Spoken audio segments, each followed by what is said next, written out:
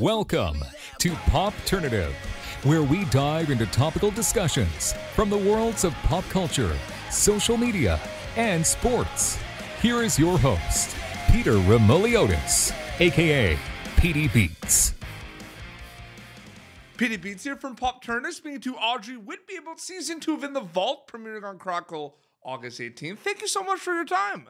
Thank you so much for having me. I'm just so excited to be here and um, talk in the vault. Absolutely. It's interesting because there's a lot of genre bending, I feel like, happening with this series because, you know, you have the murder, you have the thriller, you have the mystery, the drama. Um, there's an appetite for a lot of that stuff right now. You see the, the big power of true crime podcasts and everything. What's it like working on a series at a time where there is a real appeal for that genre specifically? Well, for me specifically as a true crime fanatic fan, anything that's on Netflix or, you know, my favorite murders, my absolute favorite podcast. Um, it's kind of a dream come true to be a part of such a fun who done it, right? Yes. It, and the who, the who done it is is always gonna be like I'm in. You know what I mean? You find out about a who done it, I'm always gonna be in. You know what I mean?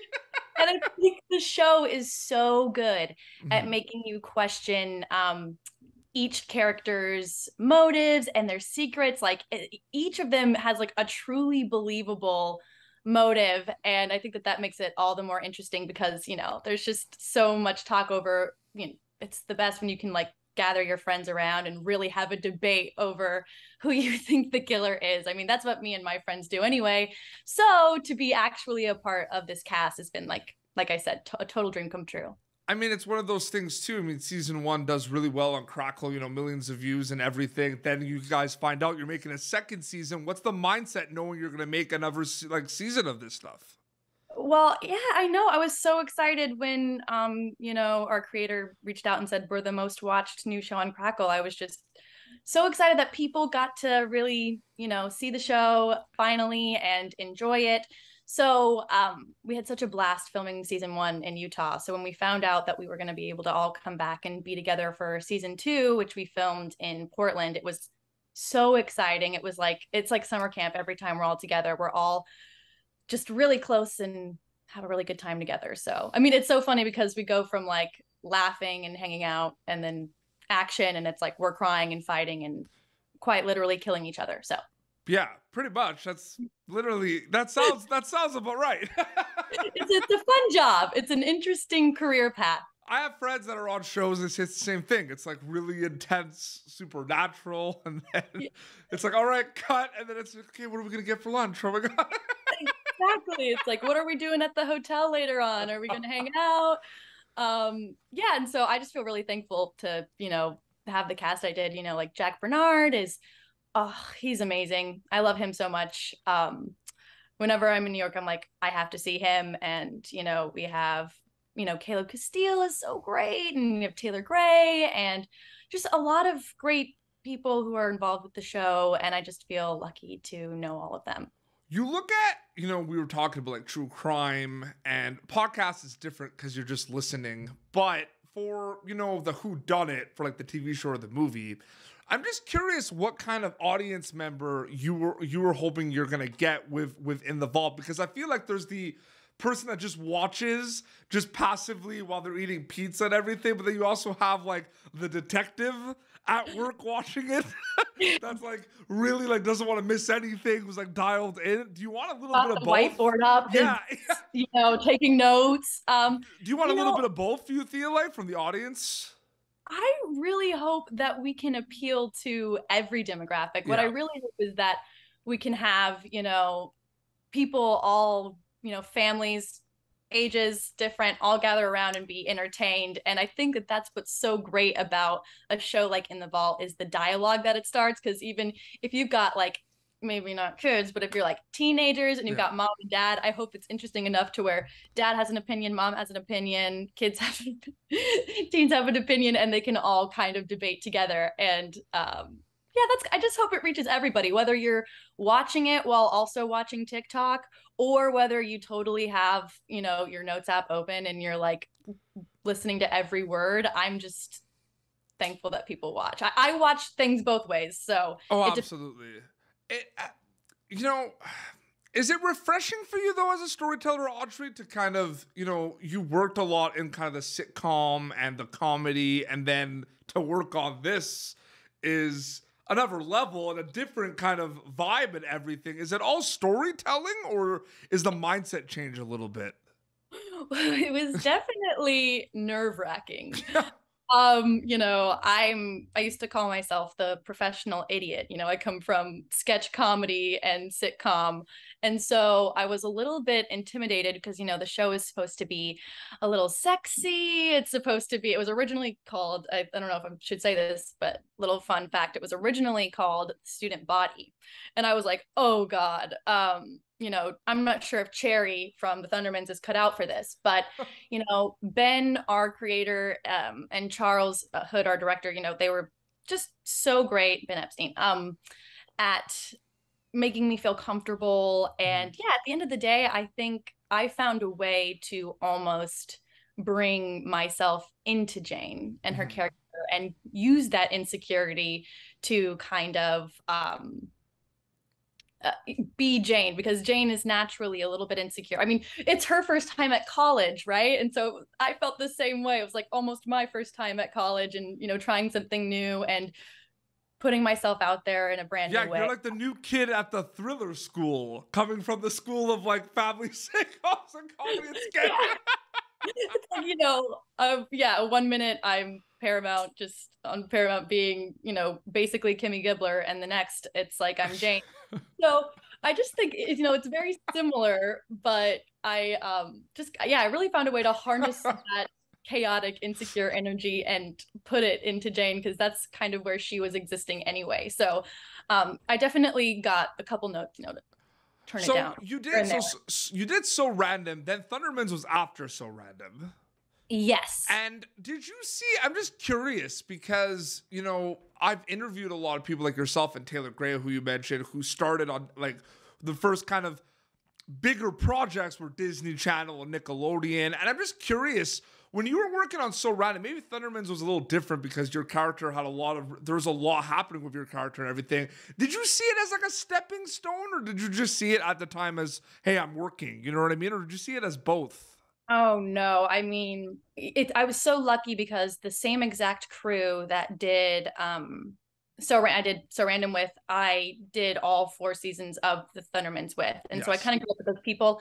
So definitely not a stepping stone. You know, I'm a proud Kimmy Gibbler, proud sitcom girl. I still watch sitcoms. I, it's I'm very like I said chaotic. I'm going back and forth between like murder and then you mm-hmm. know sitcom. So many good so, sitcoms, so many. I'm an all or nothing kind of person. So um, definitely not a stepping stone. I I loved my time there. I loved yeah. the people with. Kira Kosarin is still like one of my best friends. I think she's an absolutely amazing person. And I just, yeah, I'm very grateful for my time on Disney and Nick. And then, you know, it also my time on So Random really helped be um a catalyst into the show that um I wrote on with my sister called Betch, which um, you can find around town. Bet we're Betches and Sketches, Betch a Sketch Show. And so I was kind of able to hone my sketch abilities to then write.